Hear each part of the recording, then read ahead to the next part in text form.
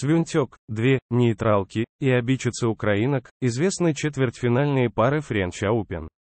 Круг претенденток на триумф в открытом чемпионате Франции сузился до восьми теннисисток во главе с первой ракеткой мира Игой Свентек. Об этом сообщает РБК Украина со ссылкой на официальный сайт турнира. Поединки четвертьфинальной стадии пройдут 4-5 июня.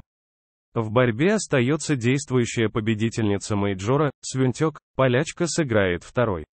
Ее соперницей станет чешская теннисистка Маркета Вандраушева.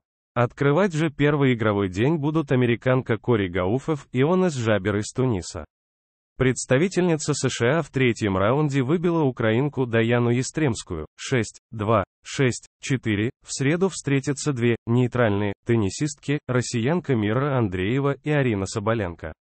Итальянка Ясмине Паолини сразится за путевку в полуфинал с представительницей Казахстана Еленой Рыбакиной.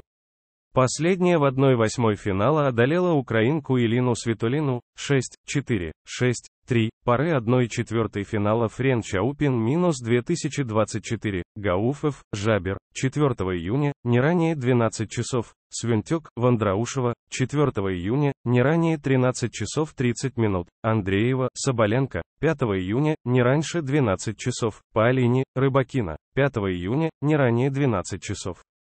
Ранее, Ролан Гаррес раскрыл гонорарный фонд соревнований в этом году. Все четвертьфиналистки уже заработали по 415 тысяч евро.